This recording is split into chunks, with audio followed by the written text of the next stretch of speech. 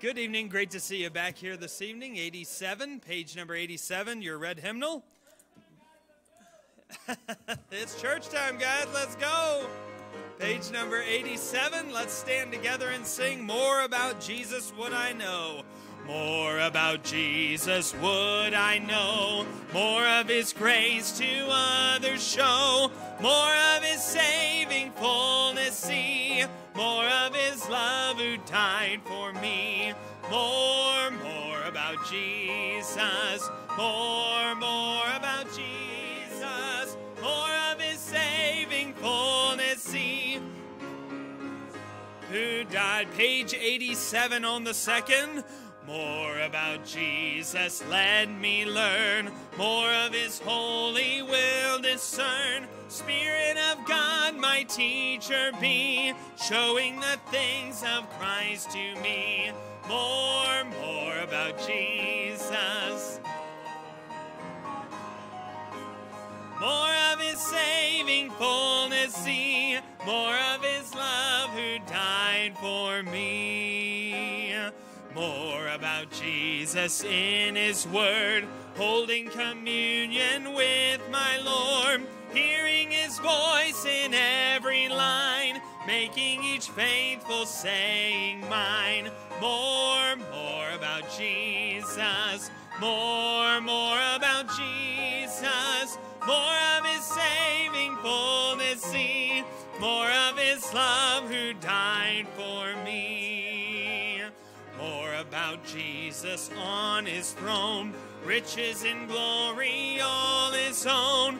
More of his kingdom sure increase, more of his coming Prince of Peace. More, more about Jesus, more, more about Jesus, more of his saving fullness see, more of his love who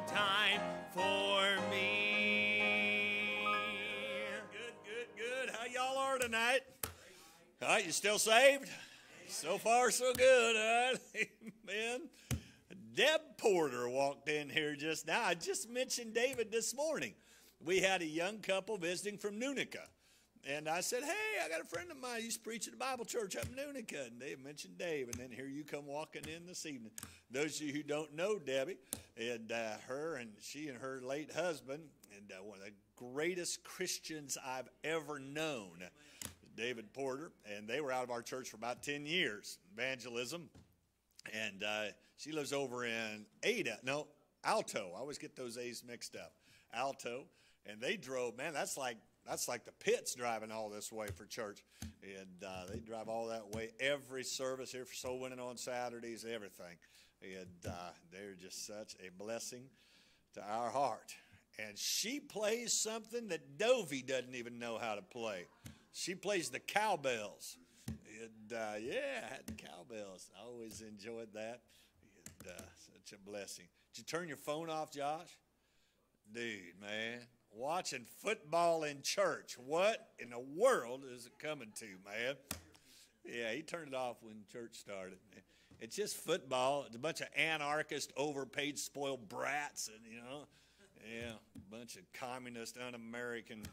Yeah, well, glory to God. I am just getting wound up, man. You ain't even seen what the rest of the message is tonight, man. Yeah, remember this morning? They'll corrupt your message, pervert message, and then they'll silence you. And tonight we're going to learn out how to respond to that appropriately. And uh, appropriately. Now we're going to learn how to respond to it in the fun way, and then we're going to have to do it the right way. So uh, we got to do those. And uh, so I know, I know, Ron. I know, brother. that's yeah, that's the two part. Yeah. Yeah, first we'll do the fun way, then we'll do it the right way. Yeah, yeah, yeah. Second one's not quite as much fun. But, uh, all right. So you starting on your house again tomorrow? Yeah. What are they doing tomorrow?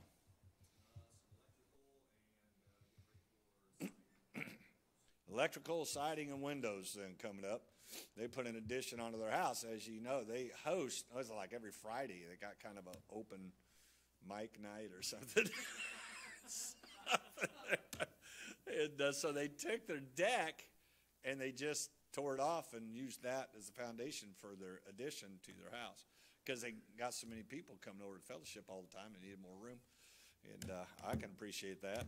But uh, I just stuff them all in our house. What we have there today? 36, I think, today in our house. 1,300 square foot house with 36 people for dinner. And uh, good old Miss Sue just keeps on cooking away. We, you know, we had meatball subs and they were good. And, uh, and you didn't get any of them. they were good. I got a question. Brom or Doug, how hard would it be to put the page number he's singing from up on the screen? Since the screen's already down anyway, when he comes out, would that be easy enough to do? Because, well, he wouldn't have to pre-plan. They just have to listen. They, you could just fire. You wouldn't have to be pre-planned, right? Because he doesn't know what he's doing, right? He just kind of think he could do it like spur of the moment stuff, like AJ said. Because I, I, thought that'd be handy. Because I never listened to him, and neither do you guys. You know, so uh, we don't know what page he's on. I keep having to walk over here, and I thought, what if we just put the page up on the screen? That's exactly what I'm talking about, man. People just ain't paying attention. Well, glory. I was telling folks, I go to the gym pretty frequently, but I hurt my elbow, so I can't do regular workouts. So I did a leg workout. I am the biggest wuss this side of Joe Biden, man. I mean, that's bad. Yeah, that's bad. It, uh, I did that leg workout three days ago. I haven't been able to walk for three days, and I didn't have any weights. I was just going up and down with that hack squat. No weight, no weight. My legs are so sore, and the grandkids jumped on my lap today. I didn't want to cry. I didn't want to act like I was a sissy. But I was like, oh, honey, oh, grab that leg. so, so if you see me just standing here all the time, that's why it hurts to move. Uh, that's it, buddy. I'm good with that. I'm good with that. Cheer up, believer. You'll be dead soon. Amen. That's moving up, buddy. That's moving up, right? We're moving on up to the east side, right? To that deluxe apartment in the sky. Yeah. That's probably not politically correct now to talk about those type of things, is it? But uh, we're going to find out about political correctness. All right, Jack Robertson's here. We can start now. That's good. I saw Jack walk in. Jack, there's a girl over here looking for a guy. Look at that. You even come with your purse, man. Look at that. Dude, we're politically correct in here. All right, we're going to have a word of prayer. What's, what's Dovey doing tonight? Is she doing offertory or offertory? Okay. And then we got the Martin Overs. They're going to be, right? The Martin Over singers will be singing for us.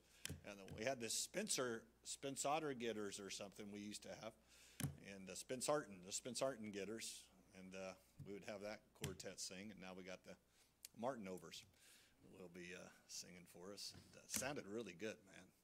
It, uh, was a blessing. But I honestly, Abby, I did not know that she was your older sister. And then she told me how old she was. I thought she looks great for 44. My word, I mean, looks wonderful. You bet. Just leave it to me to encourage the saints. Amen. All right. All right. Let's have a word of prayer. Father, I love you. I thank you for uh, just the opportunity to be called a child of the King. The King. The King of all the kings and the Lord of all the lords. And uh, we get to call you that. But on top of that, more intimately, we get to call you Father. And I want to thank you for that, for adopting us into your family. You've given to us the spirit of adoption, whereby we cry, Abba, Father. And Lord, how intimate is that? And Lord, I want to thank you for it. Lord, I want to be a help to the people. I want to prepare your people with the right spirit, the right approach to our culture, to be thoroughly convinced of the authority of your word so that we will not be silenced, but that we do it in the right spirit. So, Lord, help me to do that tonight. Lord, I thank you for the service. I thank you for uh, being able to see Deb again. Always a blessing to see our dear sister, and you would encourage her. and uh, uh, as she uh, uh lives for thee, and, and uh, uh, Lord, you'd bless the kids and you would watch over them in a very special way.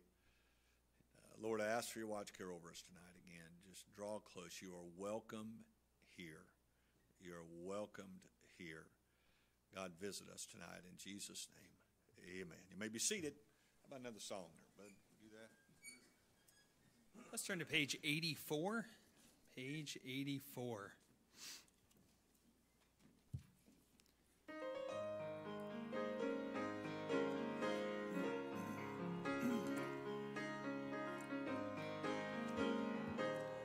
Page 84. Must Jesus bear the cross alone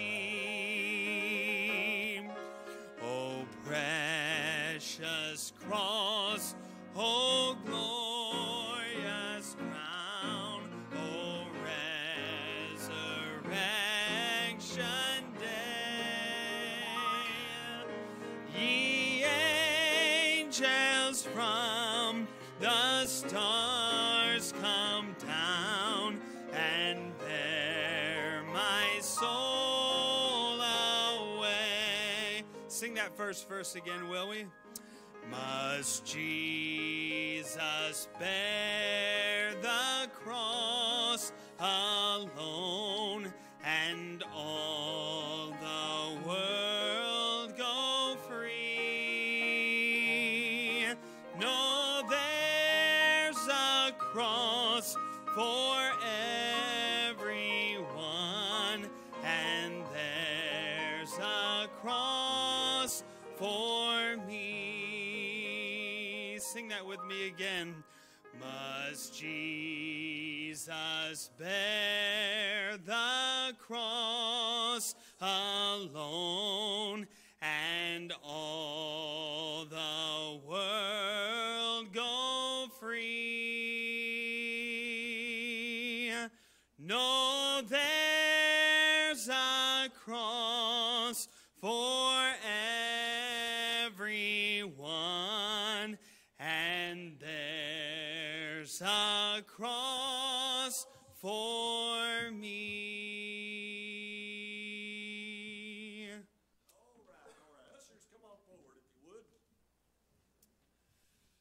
guys didn't get a bulletin, make sure to do that. I think I got one right here. Rat's ear. you know what I forgot to do is call that evangelist this afternoon. I knew there was something I was forgetting to do. And uh, but we will have that that service. He said he had that week open, so that will be um, the first meeting, special meeting we've had since July of last year. So that'll be good, and uh, looking forward to it. uh, we'll have a. Do we have an OSF tonight? Okay, so we'll have OSF tonight here in just a second. Our missions moment, and uh, that's with the Lindsays. Is that right, Douglas Allen? The, who it is? Bamfies, okay, all righty. So, uh, we will do that tonight and get that going. And, um, again, Brother Hutchison, they had a tragedy happen early on. Their daughter, uh, was nine years old at the time. There was a terrible accident with a church bus. I think it was a, it was a school bus, wasn't it, Deb? Yep. And their nine-year-old was killed in that accident, and uh, just a, a tragedy. But it brought out in that couple, brother and sister Hutchinson, a sweetness that that's what they're known for, just compassion and tenderness. And I've wanted them for the longest time to be able to minister to you folks. And uh, we tried to line up a couples retreat here a while back, and the calendars didn't match. And and uh, so I was thrilled that his schedule was open for that particular day. And so looking forward to that. Valentine Banquet, make sure to get signed up in the back table right there outside the uh, media booth. Let's get them signed up. We need to see how many we can fit in here. And uh, the uh, got a team uh, of our ladies, four of our ladies are working together to, to plan it, to uh, get the decorations and the games, activities and things. And uh, but we need to see how many we can fit in here. So make sure to get signed up so we know how many are going to be here, and uh, we'll go that route with it. I, I think they said like ten or twelve tables that we can put in here round, but we will transform this into a banquet room, and then we don't have to worry about any kind of issues um, with COVID and that type of thing. All right, still need giving statements. See Brother Doug, he'll get those for you. You can see those two handsome families there. It's good to have it. and good to have our new uh, members this morning, and uh, the Prices and Sister Terry, and uh, that's always great. All right, we got Titus has got a birthday this week. Is that right? Titus. Ava's is today. Yep, yep, yep. All right, and uh, Abby Horbert is coming up this week. Ariel's is a week from today. And then Boo, Isaiah Fuentes, we call him Boo. And that's what everybody calls him. And, uh, you can see that. All righty. Okay. And then in the missions moment, you'll see the address, the, the email address is there also. Feel free to write them and just say, listen, I give to the missions program through Lighthouse Baptist. I want you to know that uh, I, wanted, I was praying with you because your name was in the bulletin, and I was praying for you and your family. the Lindsays are awesome. They're just awesome folks. They've been in Peru for years. They actually got kidnapped uh, when they were down there and uh, thrown in a trunk of a taxi or something. If I remember, that's been several years back. didn't didn't faze them a bit. They just stayed right at it. And uh, I remember when we took them on for support, we were in the parking lot of IHOP. You guys remember that? Made him stand up on the back. He could yodel. He could yodel. Some of you don't even know what yodeling is, probably. And, uh, so we made him stand up on the tailgate of my truck and yodel in the parking lot of IHOP. He's good at it, man. So we did that. All right. Any other anything else need to be said? All right. We're gonna have a missions moment. We're gonna have OSF. We're gonna have offertory. And uh, all right, come on forward, fellas. Appreciate that. We're gonna have new guys coming up on that'll be on greeters. If you are on the, you see your name on for usher. And uh, then the only requirement, shirt and tie, and uh, we just want that. And we do have dress codes for for different uh, services with the Lord, and that's one of them. And you see these handsome fellas here. And uh, I heard you getting a dog, man. Is that right, Jason? Gonna get you a dog. Yeah, there you go, man. Tis the season. Yeah, you get sick and you get dogs. When are you gonna get him? You know, February 20. February 20. So he'll be chewing up everything in that brand new house you got, man. Hallelujah. All right. Did you talk to your brother today? Yeah, yeah, okay. Yeah, he's all giddy, isn't he? Yeah, yeah, yeah. They haven't set a date or anything, have they? Not that, nothing yet. All righty. That'd be awesome. You tell them I'm available if they need me to do the wedding and fly me over to Japan. And I ain't flying to Japan. We'd have to do a Zoom conference or something like that. I am working on, in fact, I haven't even talked to Luca. He's hearing about it as I tell you. I am working on a missions trip with Jeff and uh, to Philippines. And I said, what if we took four or five, you know, half a dozen people? And uh, he said, great, man, you're finally going to go. I said, dude, I didn't say I was going. I said, I'm putting it together. And I thought, get Luke, some of our young people, maybe some adults want to go. I don't know. And uh, but uh, I'm not interested in getting on that plane. That's like a 17-hour flight to Philippines. Some, uh, this isn't made to fly that kind of hours. And, uh, but I am thinking about doing that because we need to get. I want to get our young people introduced to missions, and we need to, to to do that. And God's been working in the Philippines for decades now, probably 30 years. That's been the hot spot in the world, and uh, and so we get over there and and uh, then you'll probably go to other areas. Uh, he went to Thailand and and uh, I don't know if he went to Cambodia or not, he went several spots over there, and he knows it. His wife is from Korea, from Seoul, and uh, and Jeff is comfortable anywhere in the world. You can put him anywhere, and he will make it. He's an amazing missions-minded fellow. Was a missionary in Bulgaria for 23 years or something.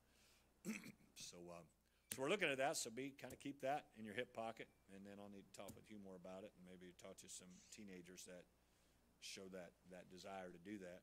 I mean, we took Josh to Scotland, so we can take Josh to the Philippines, huh? What about that?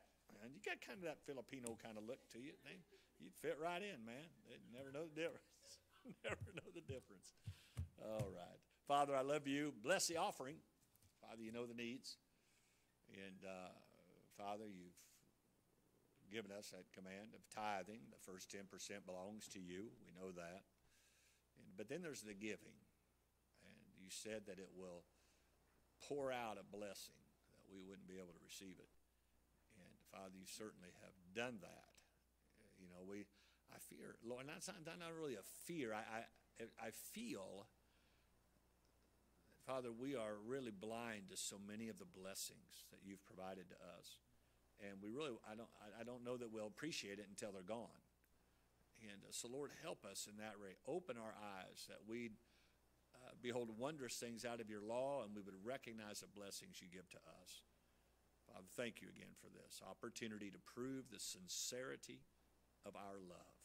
In Jesus' name, amen.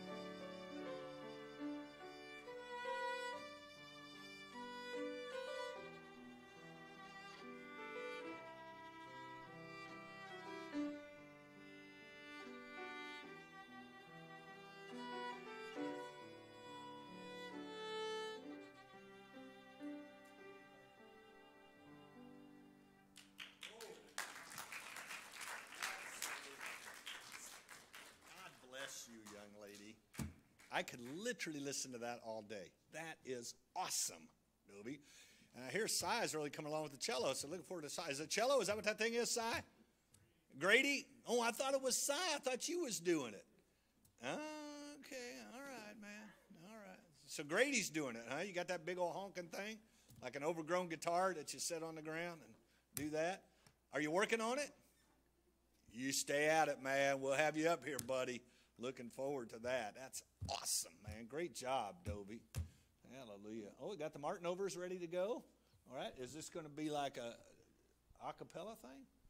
Dude, look at you guys, man. Great job. Great job. All right. You tell me when you're ready. Where do we get the fancy schmancy microphone over there? Brad? Brad's stinking awesome, man. Thank you for that unsolicited song and testimony. All right. Debbie, of course, you remember Drew. Yeah. Drew, he was my right hand guy in building this building. Drew can do anything. He may not do it right, but it will work. It will work. I mean, he can do it. We call him the Ridge Runner. And uh, remember, that's a brother, uh, uh, Pavis used to call him the Ridge Runner. We go back there in the back, and that the sound on that side of the building wasn't working. Come back, and Brad says, I, I think I figured it out, Pastor. He says, Take a look at this. Drew used some kind of an inversion thing, voltage inverter of some sort, from probably, it looked like, what do you think, Brad, 1817 or 1825? I mean, it was ancient, and the wires were just, just stuck together and some electrical tape on them, man. And he says, look at that, man. That's awesome. I said, that's Drew. Drew can make anything work, man. And that he did for a while, but now we're going to get it done in, in a little more permanent way. Had, uh, Drew is one of our missionaries. We support him. He goes around and helps churches build stuff all over the place. Churches that can't afford different things, little churches, Drew can go in there and make it happen. And uh, he is an enormous blessing, was to us and has been to churches across America. And uh, he is a dear brother. All right, this is the uh, first. We're breaking out the Martin overs. And uh, we'll have you guys have your own little banner and everything here real soon. All right, go ahead, guys. You are not a God created by human hands. You are not a God dependent on any mortal man. You are not a God in need of anything we can give by your plan. That's just the way it is. You are not a God created by human hands. You are not a God dependent on any mortal man. You are not a God in need of anything we can give by your plan. That's just the way it is. You are God alone from before time began. You were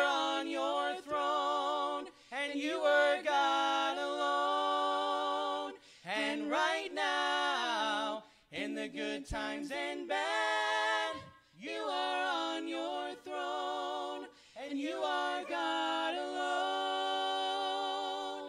You're the only God whose power none can contend. You're the only God whose name and praise will never end. You're the only God who's worthy of everything we can give. You are God, that's just the way it is. You are God alone from before time began. You were on your throne and you are God alone. And right now, in the good times and bad,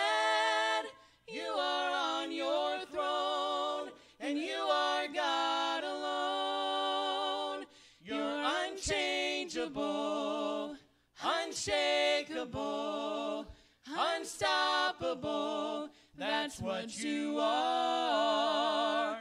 You're unchangeable, unshakable, unstoppable. That's what you are. And you are God alone from before time began. You were on your throne, and you were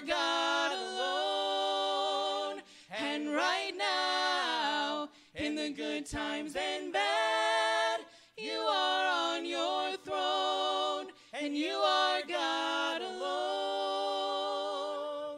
You are God alone.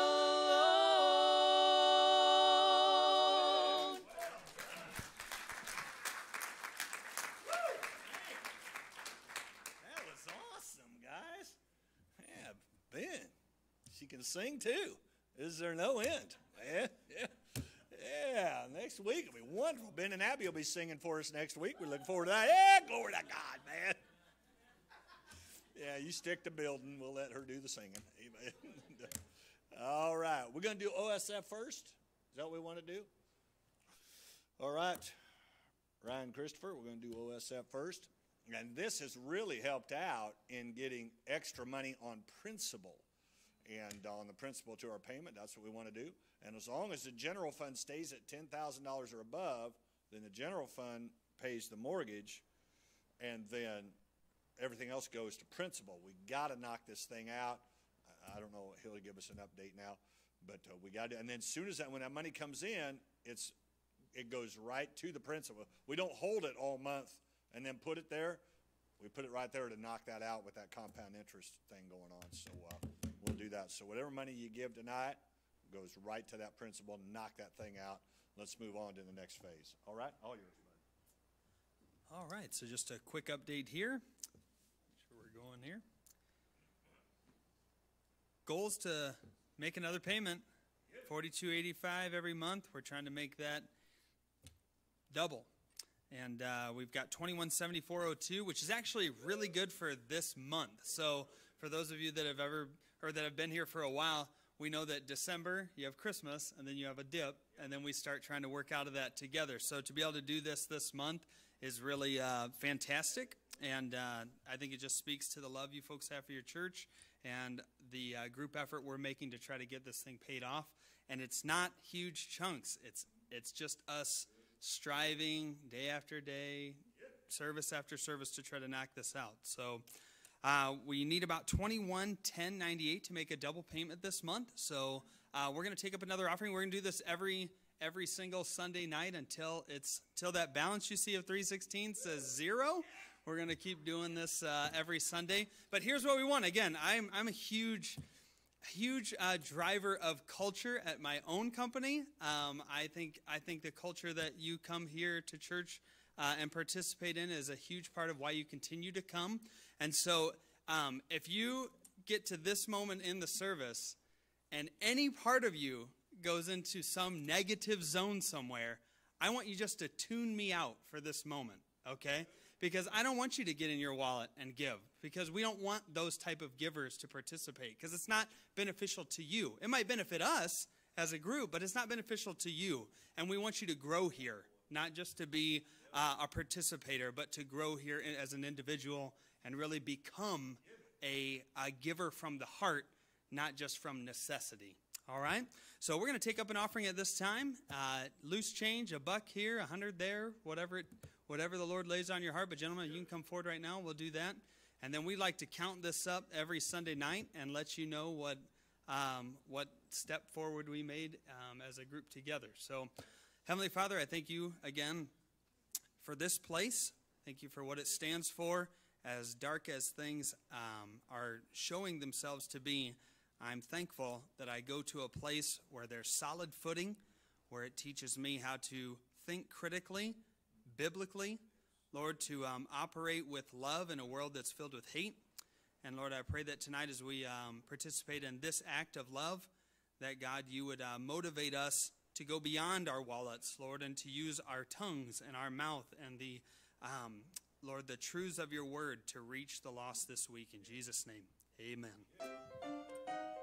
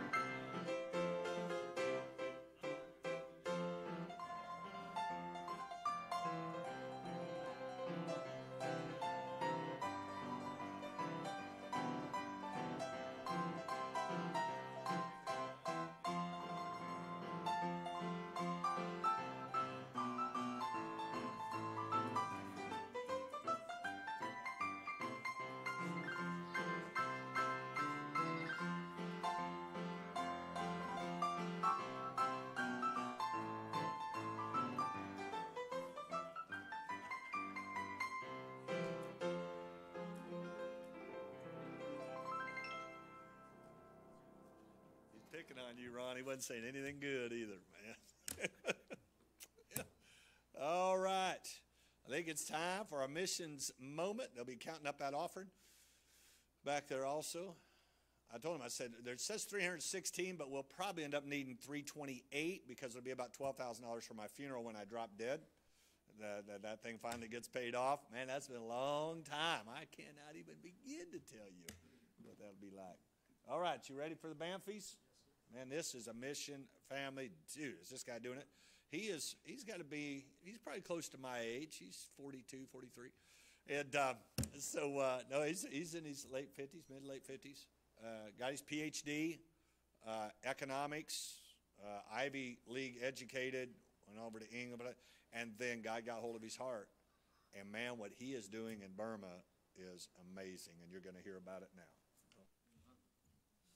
All right, so tonight's missions moment is the Banfis, our missionaries to Burma. And uh, here is a, a, little picture of where Burma is at on the globe, and then here's specifically where they are at in Burma. All right, so a few updates. First of all, um, he sent a couple of videos of some graduates saying thank you. So we're going to play these a minute, and uh, we'll see how these come through here. Thank you so much, MTV, for ESL online English class.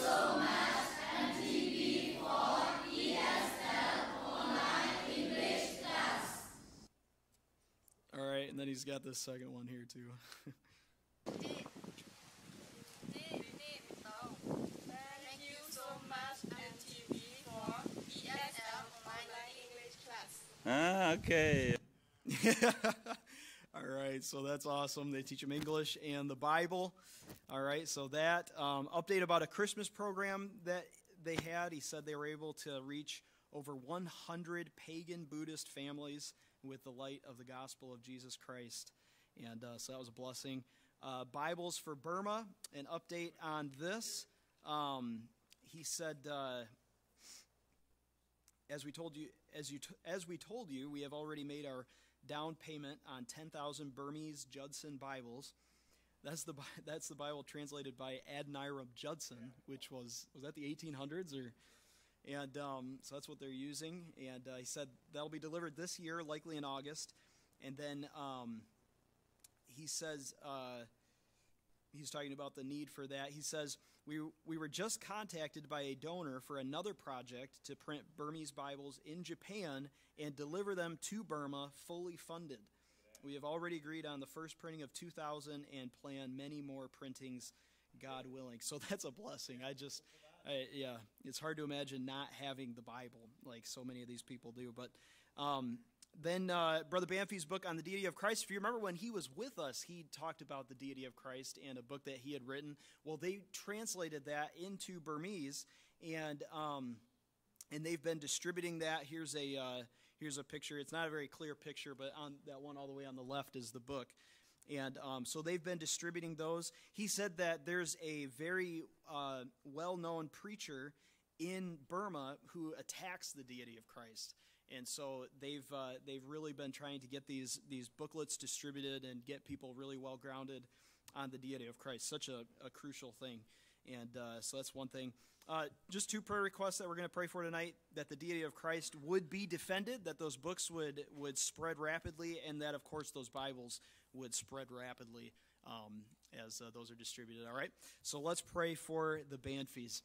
Father, thank you for what you're doing through the Banfis. Thank you that we get to have a part in that. And I ask that you would. Um, I ask that you would protect them, and Father, I ask that your word would spread rapidly.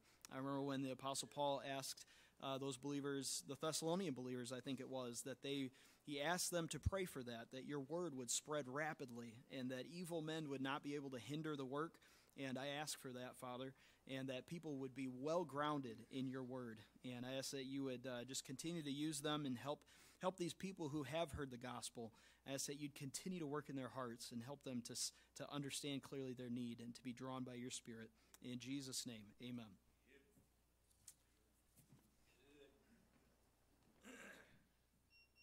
All right, the uh, I just got word that that offering brought us up to be able to make the second payment in full.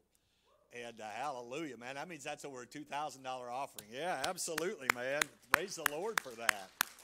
Man, what did that do? Man, I'm anxious to see what that does now for interest, how much interest that saves us, and uh, how much, how many months it knocks off. And every time we do that, knock that thing out, and uh, that'd be just great, great, great. All right, great work, man. That was exciting to hear. Oh, don't forget, we got a uh, brother Keekover is putting together a uh, uh, a maintenance day, not a cleaning day. It's not a spring cleanup. It is a maintenance day. We have some heavier maintenance that needs to be done. We got to resupport the uh, baptistry, and uh, I got in there and we were, uh, you know, holding our breath whether Carlo and I were going to drop to the floor, but but uh, no, they, they assured me it was fine. But they do need to get that done, so they're going to be doing that. We have some doors that need to be switched around. We have some doors that are going to be cut off and piano hinge Dutch doors for nursery, so we don't have any more escaped convicts uh, running out into the auditorium and you know you open up and boom they're gone. And uh, plus it also helps out that they don't get all wound up if they see a door open and there's mom or daddy and because once you get kids wound up, then it becomes a little bit of an issue. All righty, and uh, so that so if you know anything about construction, and you want to lend your expertise, we're also going to have grunt people uh, that we don't know anything, but we can hand you tools, and uh, we can be an extra set of hands, and you do the brain work, and then we'll do the grunt work and uh, and then we will once we get that team set up, then we'll get some of our ladies together and we'll have uh, provide lunch here at the church. It'll probably be a day's project. Probably you think, Kendall, if we get enough good workers here. And we got countertops we're going to be doing. We got light uh, fixtures. The uh, light fixtures in the back, the white ones, the indirect sconces, those are probably 40 years old um, because I got them for, out of the GE factory before they tore it down and put Menards there. And Menards manager came over and handed me keys to it. I didn't know the guy. He says, "Hey, would you be interested?" He says, "You got you guys need anything for your building project and all?" He says, "Here's keys to the GE factory. Go on over, take whatever you want out of there." And so we got we got a stainless steel sink out of there, really nice. We got uh, those sconces. We got an executive desk, and we got some stuff out of there. All right. So I say that because that's been 17 years ago, and they were probably 20 years old when we got them. And so, uh, and they're kind of bent. You know, teenagers have been swinging on them, that kind of stuff. So uh, we're looking at the pros- prospects of of replacing those with a nice indirect lighted sconce I think there's six of them or eight of them on all down through there. So we may be doing that too. We don't know. We don't know we're going to do that. It just depends on cost us because we're trying to pay the building off, but uh, we also want to make sure to keep it maintained and looking nice. Because who knows? We may have weddings going on around here, man. Who knows? And, uh, all right, take your Bibles. Amos chapter 7. We're going to finish up what we started this morning. Any other word need to be said before we get rolling? Praise the Lord. Good to have the prices on board. Sister Terry on board with us. More workers. And uh, we'll see what God has in store. God's positioning people here for a reason. And uh, we're going to let Him use us however He wants to use us.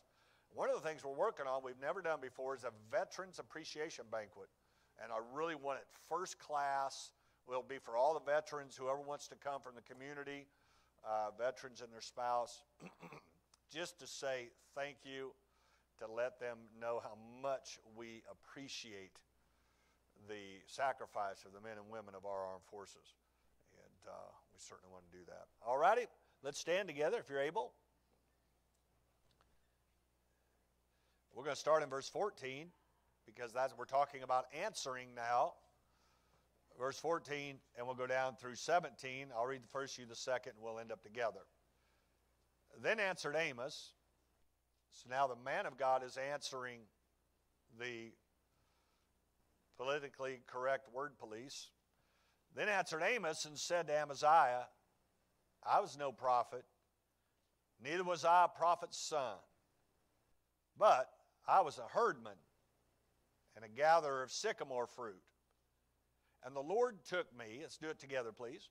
And the Lord took me as I followed the flock, and the Lord said unto me, Go, prophesy unto my people Israel. Now, therefore, hear the word of the Lord.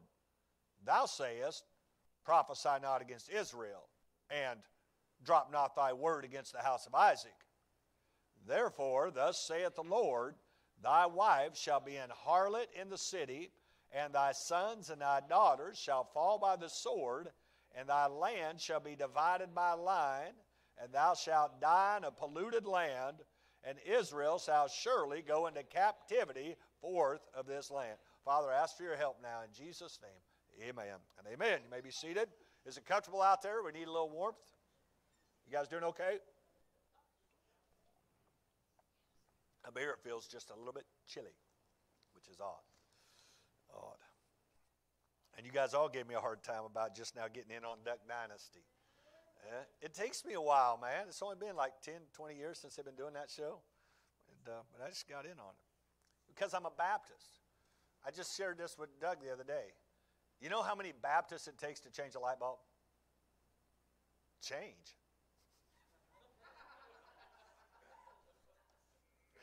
I thought it was cute, man. All right. Well, we talked this morning.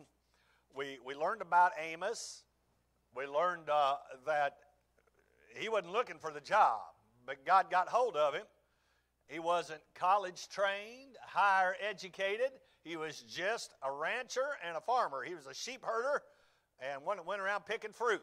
That's all he was. He didn't have any credentials. He just had the touch of God. Amen. Wouldn't you rather have that than Dr. Dryer than dust? You'd rather have the touch of God man.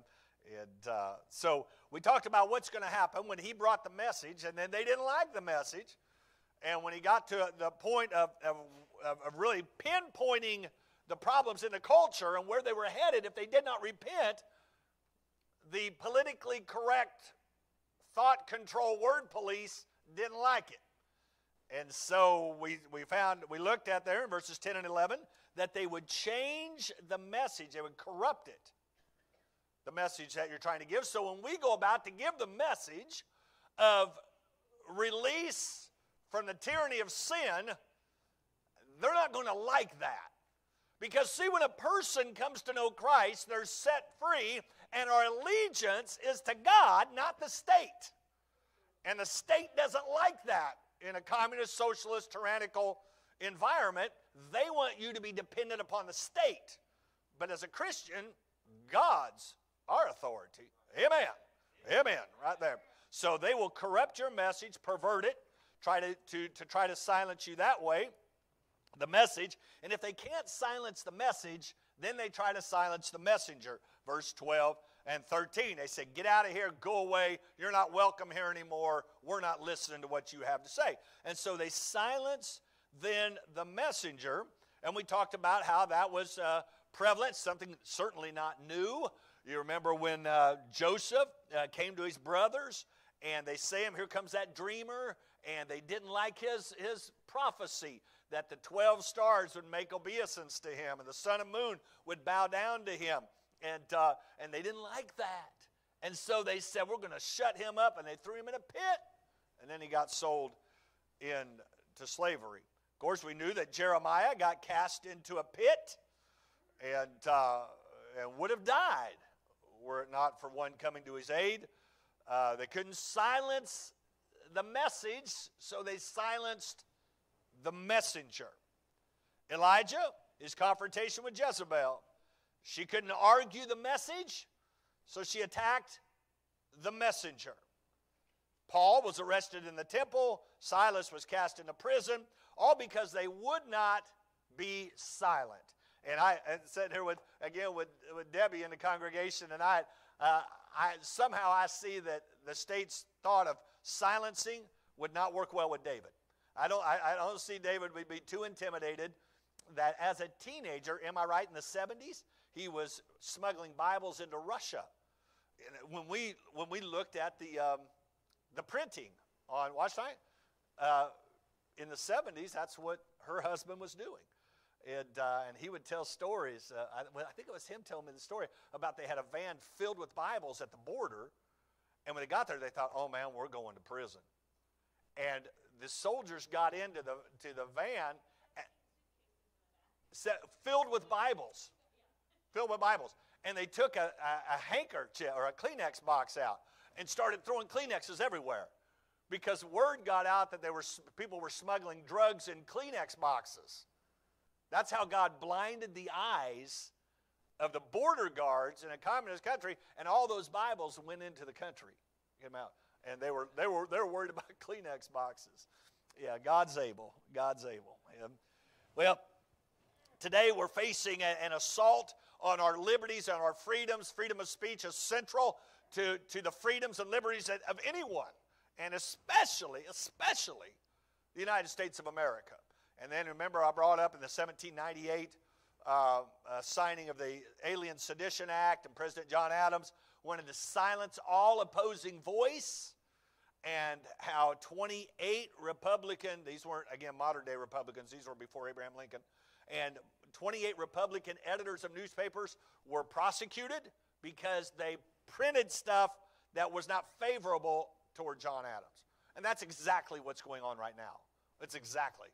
And uh, that's what happens with Facebook, what happens with Twitter, um, you know, and, and we're talking about more of that as we go on. So, when they can't win the battle of ideas, they must silence the messenger. So, what is to be our response to those attacks? In chapter 7, verse 14, we just read it through 17, it was then answered Amos. Uh, the first four words of 14 were critical because the man of God, the children of God, would not be silenced even amid the threat and the assault of culture.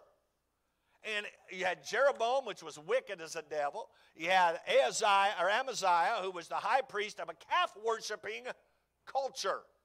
And they told the believer in Jehovah God, they said, You need to shut your mouth and then you need to get out of here. But what did he do? The first four words? Then answered Amos, Do. Uh, the first three words, then answered Amos. Then answered Amos. He was not going to be silenced, and neither can you. Neither can you. You must never allow your testimony to be silenced. He, he, uh, uh, he wasn't standing on his pride or his intellect or his long standing reputation. Again, look how he begins his rebuttal in verse 14. I was no prophet, neither I was a prophet's son. I was a herdman, a gatherer of sycamore fruit, and the Lord took me as I followed the flock. He wasn't bragging on anything. He had nothing in and of himself to boast on. His boast was in God. That's all it was. And so, therefore, we cannot allow ourselves to be silenced. I was talking to one of the brothers uh, this morning after service, and he was uh, sharing with me some of the challenges that he's having at work and about is your, your position uh, uh, politically going to cost us clients? But he says, preacher, preacher, I was thinking my position isn't political, it's biblical. And it may transfer to politics, but it's a biblical position. And see, when we take a stand, even in, in this situation, when we take a stand, God will provide and care for us. He will do that. I shared with him the story I've shared with you when, when my commander was using the Lord's name in vain. And I asked her, in all, with much respect as I could, I said, Major, could you take that language into battle staff? She could have thrown me in jail for insubordination. But I had about as much of that as I was going to listen to. She was talking about my father, right? And you wouldn't let somebody talk about your family like that. And I wasn't going to let that. And she says, Oh, I'm sorry, Sergeant Spencer, I'm sorry. And went in there. Well, man, God stepped in because I just stepped into some deep water legally. But God stepped in. And then, uh, you know, I, I, come to stateside in 1990. I'm sitting in the, in the second uh, seat behind the driver in a, in a Suburban. And my first shirt, my first sergeant, we call him shirt, my first shirt, my first sergeant, and my commander were in the front seat. And they got to talking about the dorm super, supervisor, who was one of our brothers, one of my brothers in church. He was getting ready to retire. And they were not talking favorably about him. And they were running him down and saying unkind things about him. And, uh, and so I said, Excuse me, sir. I said, Sergeant so and so is one of my brothers at church, and he's a dear friend of mine. Could we go a different direction with this conversation? Oh, okay. And they did. Right? But see, if, if you take a stand, if you won't be silenced, God will provide. So don't be, don't be silenced. Don't be intimidated into silence. Again, in essence, what he was saying, Amos was saying, is I, I didn't want this job to begin with, but I got it, and God gave it to me. And again, remember, 60, was it 68 times, was it, that he said, Thus saith the Lord. Throughout those nine chapters, 141 verses, almost every two verses, he was repeating that statement that, hey, it's not my message, it's God's message. Thus saith the Lord. And that's where we got to come back to.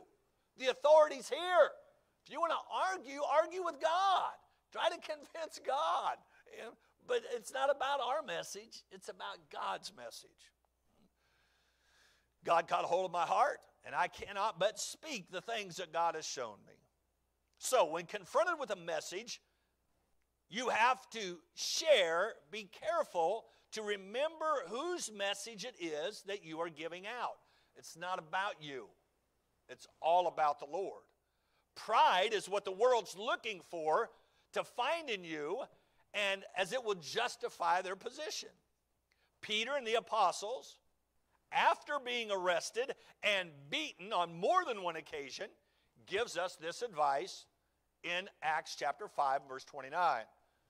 Then Peter and the other apostles answered and said, We ought to obey God rather than man. That was after they were beaten, after they were arrested multiple times. They said, Listen, we're not changing. And as long as you will, again, not being obstinate, we'll talk about all this, not trying to be unkind to people, but just taking a stand. And, if you perform at work, they will listen to you. But you can't go in as a Christian at work and be a lazy bum.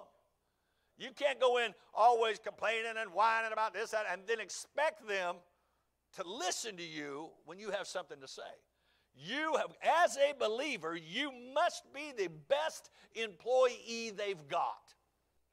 I mean, whether you eat or drink or whatever you do, do all to what? The glory of God the affirmation of what God has revealed about himself. God says, if any man be in Christ, he's a what? New creature. So you show that in your workplace. You aren't trying to, to lie your way out of things or trying to find some place in the back warehouse to goof off. No, you're there to work. And if your job is done, what you're assigned to, then grab a broom. But do something. I remember when we owned Blimpie, and that was our greatest bane that we had in owning the companies, you couldn't find people that wanted to work. They were all just lazy. And when you found somebody that wanted to work, you tried to hold on to them with everything you got. We got some families in our auditorium tonight that, that loaned us their children to work. And uh, man, we wanted to keep them. We wanted to do anything we can to keep them because those kids could work. Teach your kids to work. It's all right. You're not abusing your kids to take away their video games Tell them to get their little butt out there and work a little bit. That'll be okay. Working's okay. All right, maybe it's not. Maybe y'all do what you want to do, man. And uh, anyway, notice what happens next. After they said we ought to obey God rather than man, after having publicly stood for the cause of Christ and putting their lives on the line for his word's sake, they were facing death. Turn with me to Acts chapter 5. I want you to see this. Acts chapter 5, verse 29 first. We're talking about facing a culture, the cancel culture, the politically correct, the word police, the thought police, the reprogramming that they're talking about. Have mercy.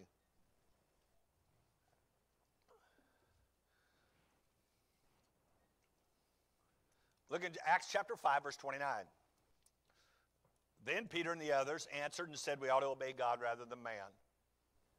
All right, they were, gonna, they were facing prison, they're facing obvious persecution. But look in verse 33 what happens. After they take that stand publicly, In verse 33, when they heard that, they were cut to their heart, the council, and took counsel to what? So now they're facing death. They're going to kill these guys, Peter and the other apostles. But look what happens in verse 34. Then stood there up one in the council, a Pharisee named Gamaliel, a doctor of the law, had in reputation among all the people, and commanded to put the apostles forth a little space. Bring him out here. Hold on a second.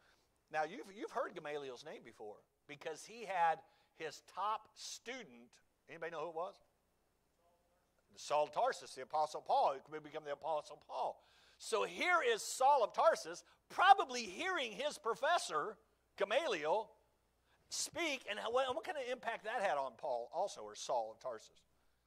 But in verse 38, Gamaliel says, And now I say unto you, refrain from these men and let them alone. For if this counsel or this work be of men, it'll come to naught. But if it be of God, you cannot overthrow it, lest haply ye be found even to fight against God. And to him they agreed. And when they had called the apostles and beaten them, they commanded that they should not speak the name in the name of Jesus and let them go. You know what they did right after they left? Went right out and preached. Same people, same place, Solomon's porch, same message. It didn't matter what they did to them. Why? Because there was, there was a burden, there was a drive, there was a commission that came from God. And you can't silence that. that, that the gifts and the calling of God are without repentance. We have to stay at it. We cannot back up. We cannot turn aside. We cannot give in. God was with them. God had his eye upon them. God had told them that he would be with them until the end of the world. In Acts, or Matthew chapter 28, verse 20. One of the last things that Jesus said to his disciples, his apostles, before he ascended up from the Mount of Olives, that one of the last things he said was this.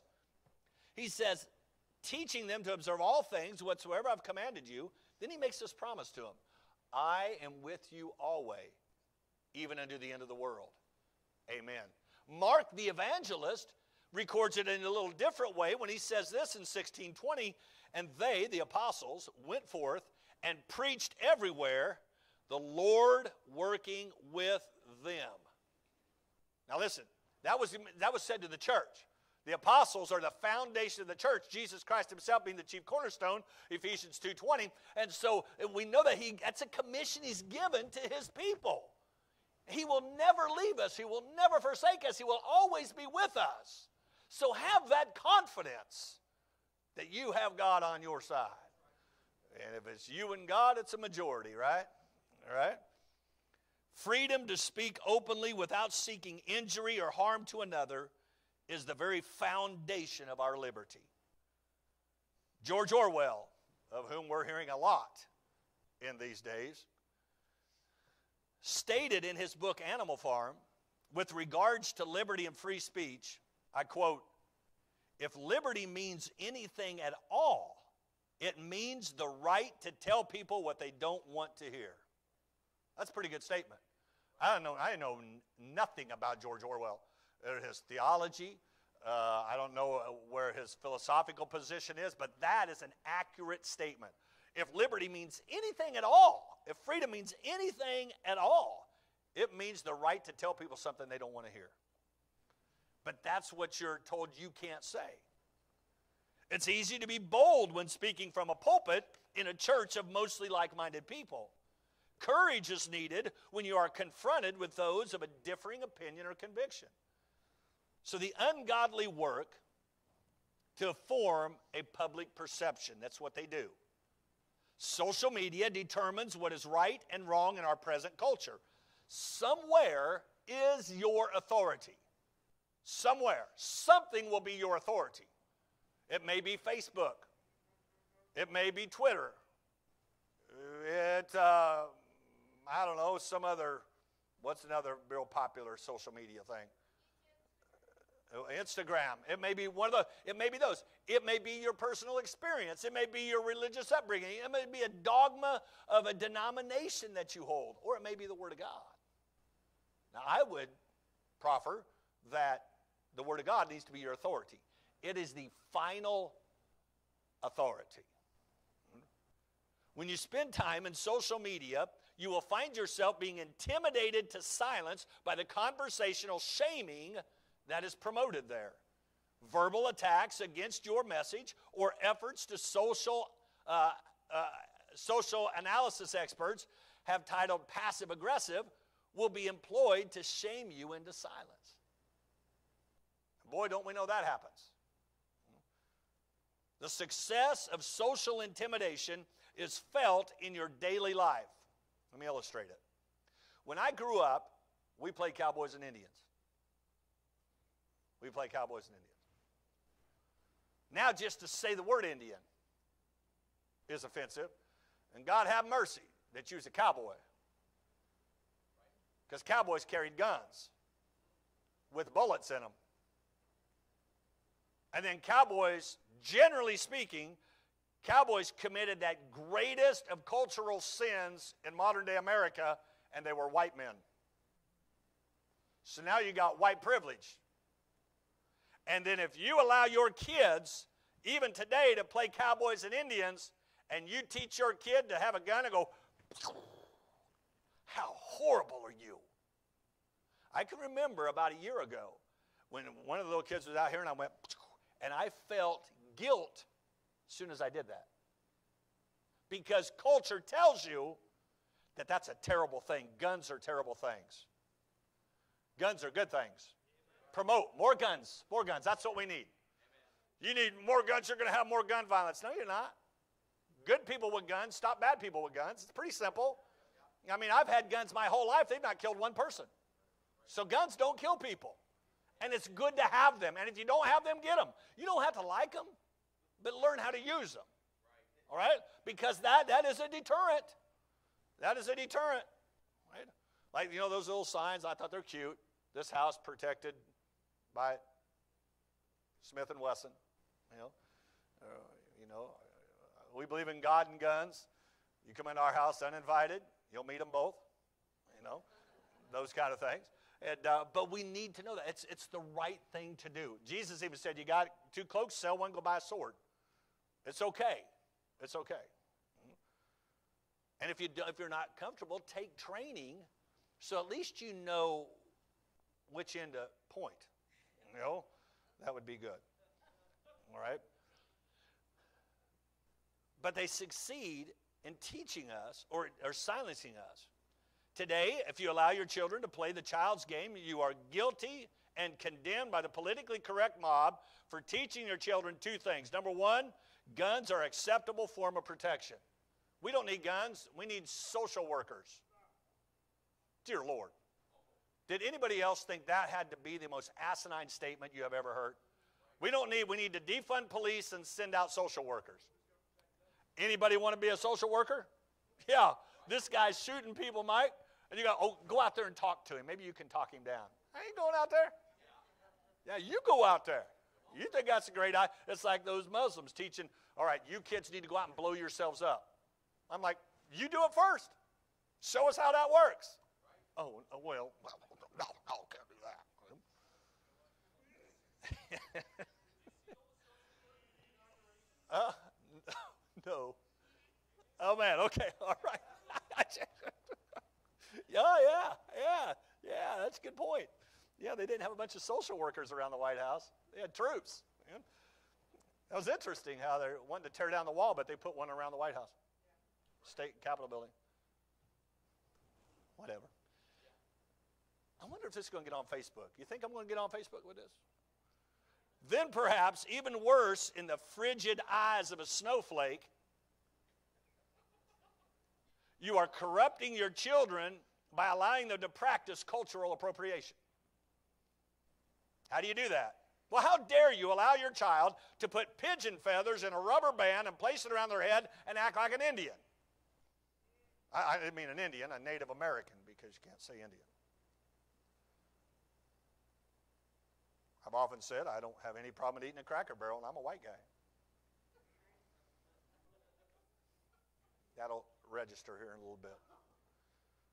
What do they call us? Call us crackers. Call white people crackers because we're dry and flaky. I'm all right. I'm good. I'm good. That doesn't offend me in the least. Couldn't care less. In fact, I think it's kind of funny. Yeah, it is. Yeah. And if you saw white people dance, you would understand why they say that. Yeah. Yeah. Amen. Is your baseball team named the Indians? That's offensive to white people who condescend to Indian people and feel the Indians are too weak and unintelligent and lack the wherewithal to stand up for themselves. So white people say you got to change your name.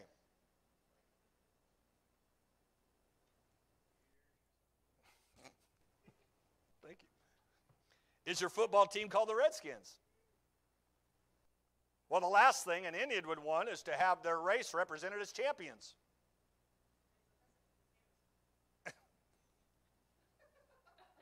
You guys are helping me with this message.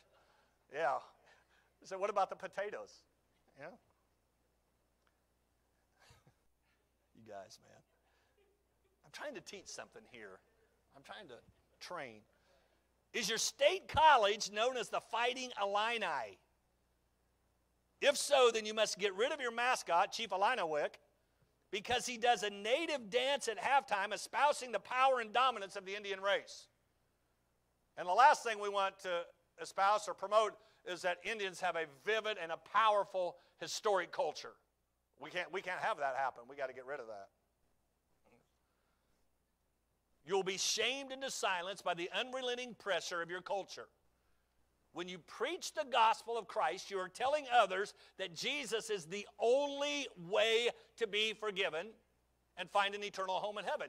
Therefore, since you are unrelenting, you are a bigot because you believe only one way to salvation. Do you believe that God allows only men to be pastors? Only men, based on 1 Timothy 3. So when you say that you believe only men, women cannot be a pastor, then you're a sexist. Word police, thought police, intimidation, shaming you into silence. Ain't shaming me because I've got the authority here. I didn't say it. It's like that time that lady cornered me at a meeting and I'd written this track. And she says, she comes up to me, bouncing up to me at this meeting, and she says, Did you write this track? Yeah. Well, you're teaching heresy. She says, You said right there that you have to repent in order to be saved. I said, I didn't say that. You did too. Look right here. I said, I did not say that. You did say. I said, No, I didn't. Jesus said that. Well, well. They try to sign. As long as you have the authority, and you're not trying to be unkind to anybody. You know, we don't, we don't want to be obstinate and unkind, but when you be dogmatic, it's going to come across to some people as offensive. That's why they need safe spaces. And honest engine, not kidding you. That's why I shouldn't use that term. Coloring books for people to color so they can learn how to handle their vulnerability and victimhood. Safe spaces. I don't know how you guys read that. Do you believe in biblical marriage? I didn't say traditional marriage because I don't care what tradition says. What does the Bible say? Do you believe in biblical marriage? One man, one woman. Do you believe in that? Well, if you do, then you're a homophobe. I had to look that up.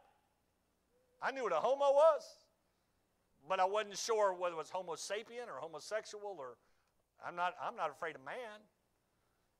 I'm not a homophobe. But they're talking about your you you hate homosexuals, sodomites. I don't hate them. They need the gospel. Get the gospel to them. I'm just going to preach against it. Absolutely, I'm going to preach against it. Absolutely. Why? Because the Bible preaches against it. And you wouldn't believe how they pervert the message. Used it this morning at the end of 1 Corinthians. Greet one another with a holy kiss. They said, see? And when I'm telling you, God, I, I'm just repeating and I'm serious, I'm, this is not, I, Lord, it's not sacrilegious, but when they said Jesus kissed Judas Iscariot, I saw the video that Hollywood put out. It was disgusting and filthy and perverted. But they said, see, Jesus was a homosexual. But we're supposed to be silent. Do you believe that there are certain religions in other countries that want to destroy the United States? Well, then you're a xenophobe. So, so far, according to the Ten Commandments of the liberals, that you are a sexist, a homophobe, and a xenophobe. There's some other cool words, but I don't know them.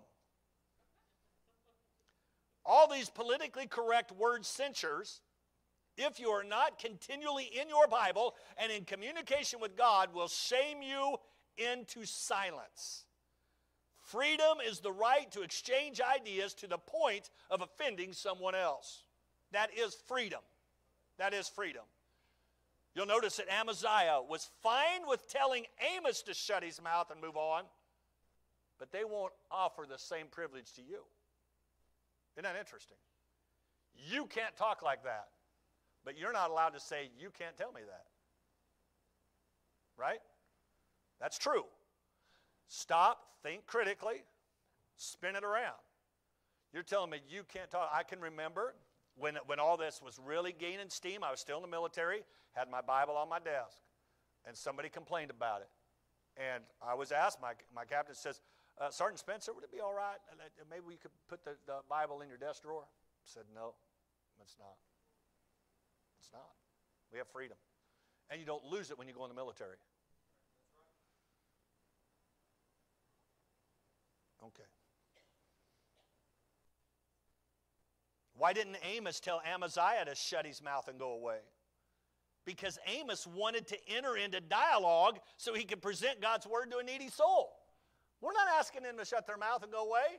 Let's sit down and talk about it. Let's get into the arena of ideas. Let me give you the Word of God, and you try to defunct it. You try to say that doesn't work, that's a lie. That's why you have the right to believe whatever you want to believe as long as it does not infringe upon my liberties. No one has a right to our freedoms that would take our freedoms to take away our freedoms. So they don't have the authority to do that. Once they exercise those liberties and freedoms that comes uh, with being, it's innate with being an American, if they try to take away your freedoms, that's where it stops. Like somebody says, your freedom of expression stops at my nose. When you go punch me in the nose, it's on like Donkey Kong. You got you can argue all you want, but you don't silence. Why do you want to shout down and silence somebody? Just talk it out. Let's just sit down and have a battle of ideas. You convince me why it's right, why it's right to take away money from people who earned it to give it to people who won't. You convince me of that. Right? I'm, I'm game. I'm not talking about helping people who need it. I'm talking about not helping people who are lazy.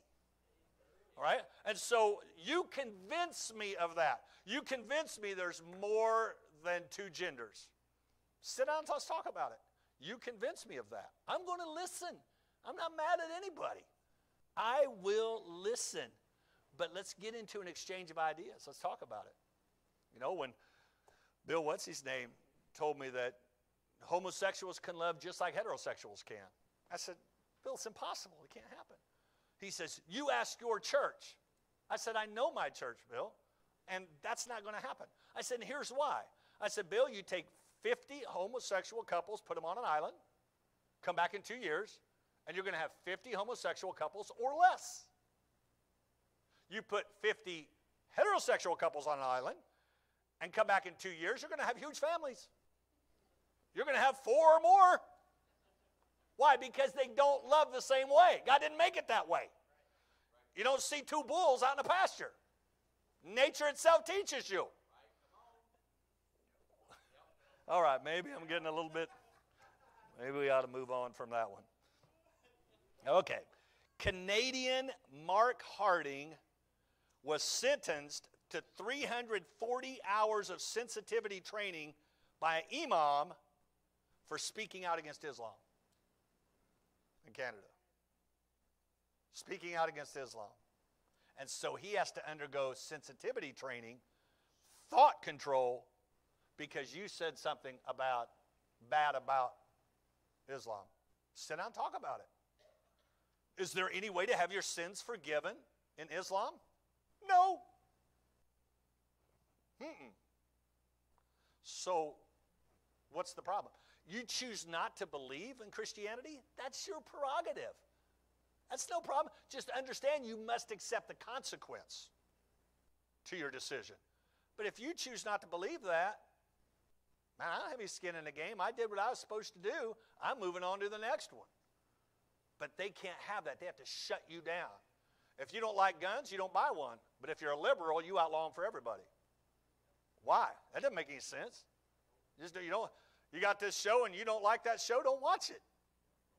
Oh no, but they're going to. I couldn't figure out how Duck Dynasty made it. They mentioned Jesus Christ openly, and they shot things, pigs, right on TV. I watched him shoot him and drop him, and gutted him right on TV. That was awesome. That, that was awesome.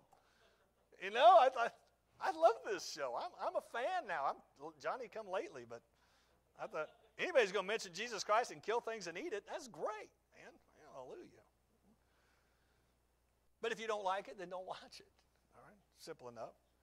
When you respond to the word police, you must do so with love.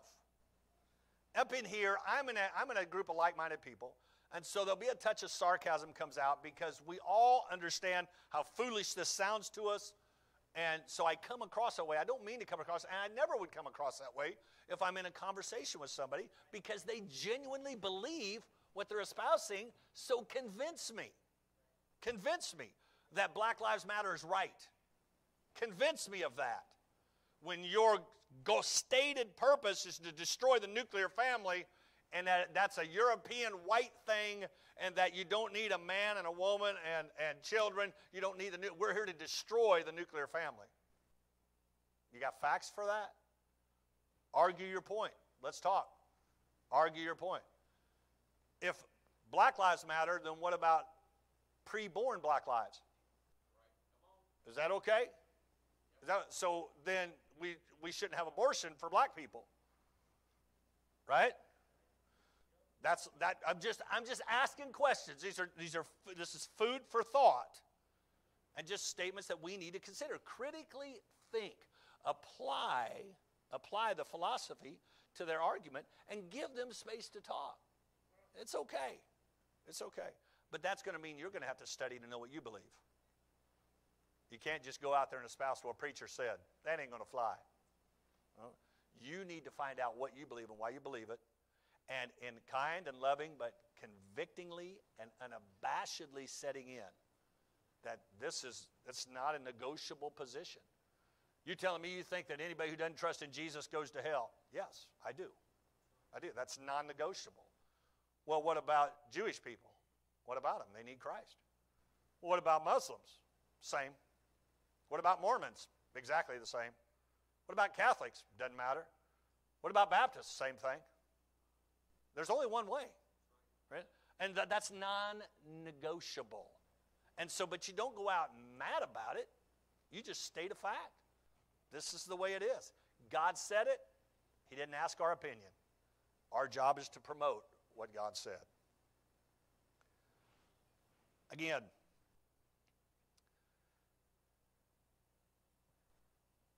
when you respond, Ephesians 4:15 says speaking the truth in love. God, uh, uh, Paul wrote to the Colossian church says let your speech be always with grace. Remember grace is the revelation of God's will. So when you respond to the cultural the censure, you are relaying God's will, not your prejudices. To resort to name calling is to fail of the grace of God. That's not going to get anywhere. I have been victim of doing that, of name calling, of ridiculing, of demeaning people because they held a different position. That's not the right thing to do. Find out what you believe, why you believe it, and simply state your position. But don't back up. Do not back up. And never tolerate a lie. They'll say, well, that may be. If they said something that's just not true, then don't tolerate that. Don't tolerate that. Well, it's, uh, you, you can see here that Jesus was never married, and therefore he was a homosexual. It's a lie. You, don't talk, you can't go any further with that. You can't go any further because that's a lie. And we have, and you have the scriptures behind it. And uh, man doesn't, you know, says a man lays with a man, he does with a woman, he ought to be killed. That's Old Testament. We're into grace now. I'm not saying kill anybody, but I'm saying that does show God's attitude toward homosexual relationships. Again, to resort to name calling is to fail of the grace of God. Lutzer, in his book We Will Not Be Silenced, shares the following account in the life of Hugh Latimer, a 16th century Protestant. He was brought before King Henry VIII. King Henry VIII was known for what? Anybody know? Uh, yeah, he was that too. He was known for a bunch of wives. And what would he do to them if he didn't like them? He'd whack them. Yeah. You remember that? Henry VIII, I am, I am. Oh, that old, old song from years, 100 years ago. All right. Latimer, Latimer, do you remember you are speaking? This is what was in his heart. This is what's going on in his heart. Right? He's before Henry VIII, who was infamous for his murderous tirades against all opinions that clashed with his. Latimer has been called to speak before Henry VIII. In his heart and mind, this confrontation occurs. Latimer, Latimer, do you remember you are speaking before the high and mighty King Henry VIII, who has the power to command you to be sent to prison, and how he can have your head cut off if it please him? Will you not take care to say nothing that will offend royal ears?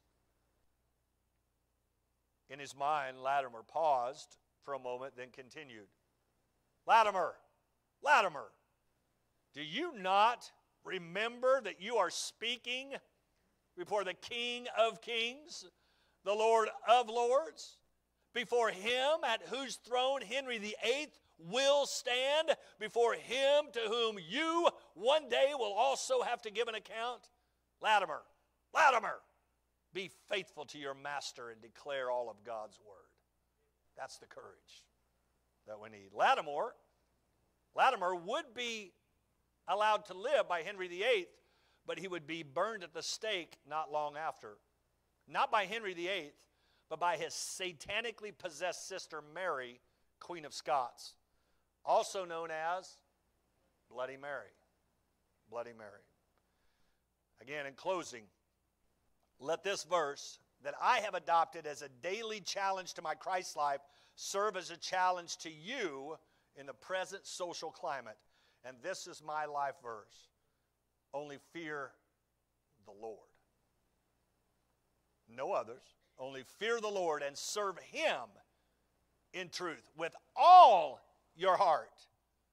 Why? For consider how great things He hath done for you. Let that be a challenge to your heart. Let's stand together. Father, as I've sought today to encourage the believers in this present climate, our message will be corrupted, perverted, and used against us. If we will not stop, they will try to silence us. But Father, our response is to be with love, with compassion, but with great and unflinching conviction. We ought to obey God rather than man.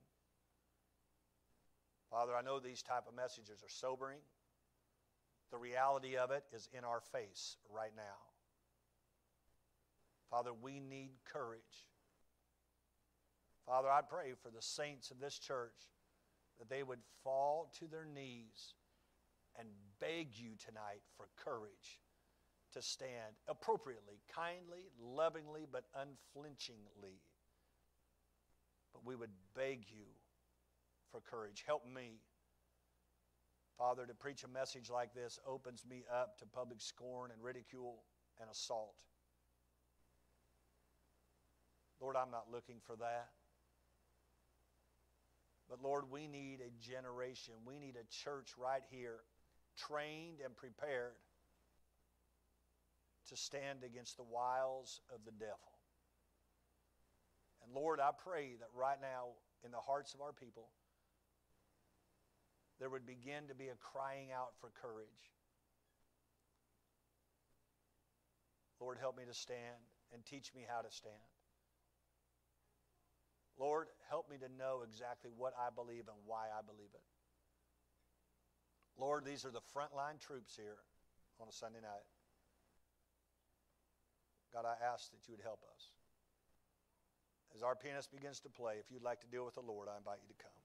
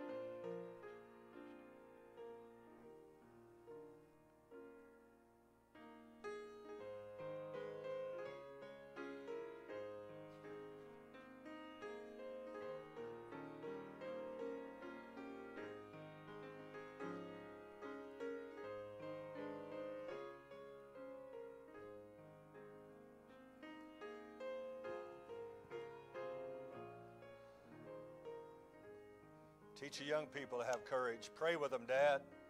Kneel with your young people. Tenderly and compassionately.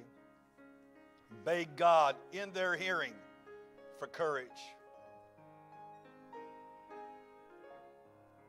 We enjoy the pleasures of the Lord. We enjoy the benefits and blessings of being Americans. But there is a responsibility that comes to grace. That comes with grace, I should say. God has administered His grace to you and your family. And daddies, we have a responsibility to train up our family in that truth. We owe God everything. We can't be silenced. We can't back up. We can't turn aside.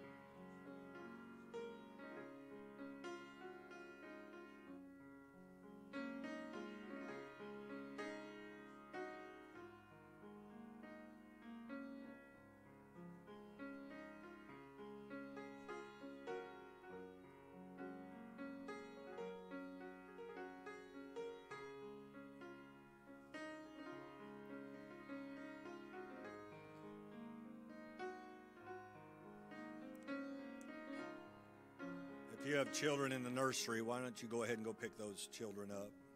We'll close in prayer here in a second. If you have children in the nursery, go ahead and go get them. We will close in prayer in a moment.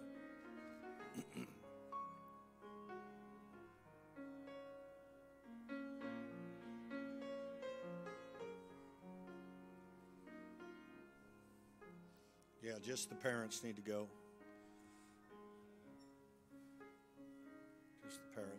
Father, I love you. I thank you for a chance to be here tonight. I thank you for this church. For these people, they have no, again, I, I just don't know that they'd understand. I, I guess if you haven't been a pastor, it would be tough to understand just the blessing that they are to my heart, the encouragement. Words fitly spoken in due season are like apples of gold and pictures of silver. And Lord, as we go out from here, we begin our battle with the devil right away. Many will be off to work tomorrow morning, some tonight perhaps. That we would go out refreshed, revived, and encouraged. That we would speak the truth in love, having our conversation, our speech with grace, seasoned. Father, in a way that we can give an answer of the hope that lieth within us with meekness and fear. But our fear would be of Thee, not of our culture, not of the social climate. So, Lord, help these dear, dear saints. I want to do my best to train them, prepare them. And God, I pray that you'd put within their heart a mindset of resolve that we will do the Lord's work regardless. We will speak the truth. Father, bless these dear saints. In Jesus' name, amen. And you're dismissed.